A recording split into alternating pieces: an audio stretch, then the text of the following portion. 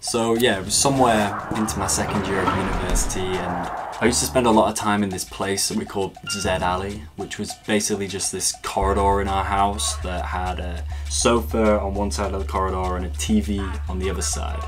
And it was always a mess, but it was the best we could get to a living room. You know, it felt like home to us. One day we got really stoned in the garden and then went to Z Alley to watch a film. And let me explain to you the horror that I felt that day. I had the usual kind of like sweaty palms and then like heart beating out of your chest, but I think the overwhelming feeling of impending doom was probably the star of the show. I sort of said something awkward and then went to excuse myself to go to the bathroom and obviously the walls felt like they were caving in on me. I'd never felt anything like this before in my life but there I was having a panic attack in the bathroom. I couldn't really breathe.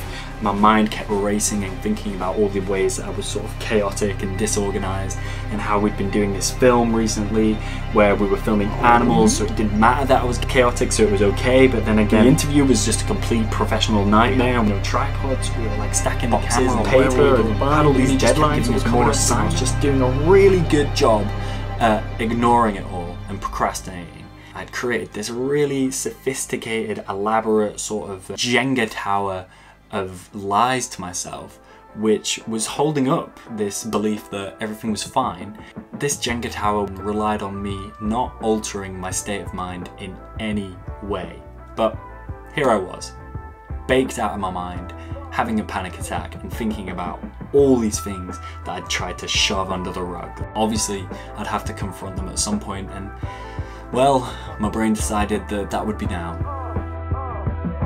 So um, the next day, the morning came, which I was very thankful for. I put up this badly drawn calendar, uh, which was full.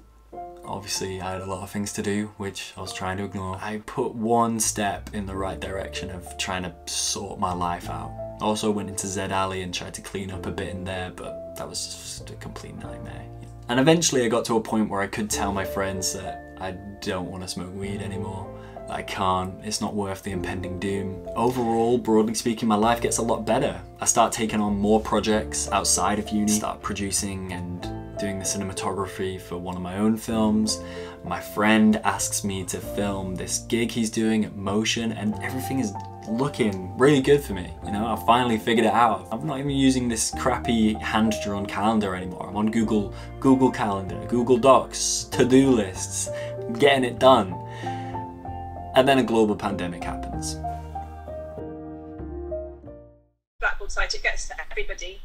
And then you've got your own special one that this year is called Yui underscore film. I have to delete everything on my Google Calendar. All those projects at uni are now just left unfinished and yeah, things kind of suck. I gave up on a lot of the things that I'd learned and a lot of the drive and ambition in my life. It wasn't until doing these YouTube videos that I realized, well, these YouTube videos rely quite heavily on the chaotic, mad side of my life manifesting itself through me filming as much as I can and then writing and trying to make sense of it all. But that only works to a certain extent and it's not something that I can do consistently. I was doing this video on free will which just ended up being complete convoluted contradictory mess because I was having this existential crisis pretty much the entire time. My computer couldn't even really hack the multitude of different files I was pulling from different hard drives and like different file formats and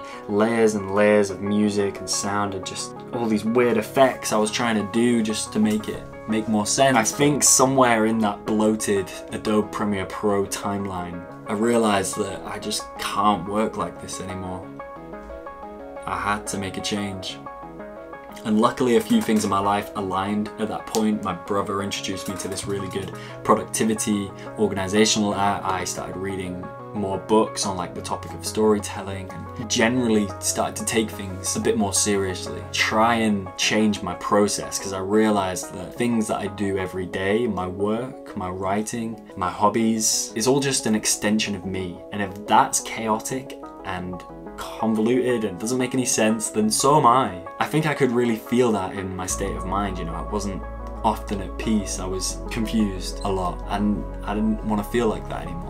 Because an artist is supposed to sort of bridge the gap between chaos and order and make things that don't make any sense make sense. And I, for one, know that I cannot do that when my own mind is a tsunami of thoughts that are impossible to grasp and hold on to. So I made a change, made a big overhaul to the way that I work and the way that I write. I think it's working. Although this video, I've tried to film it multiple times and it hasn't worked. I feel like even with this script, there's a lot to work on. There's a lot that I could change and just make things more concise. I don't know if this is useful to anyone, but um, perhaps it is. Um, all I want to say is um, it's really easy to change your workflow and your process if you figure out that it isn't helping you.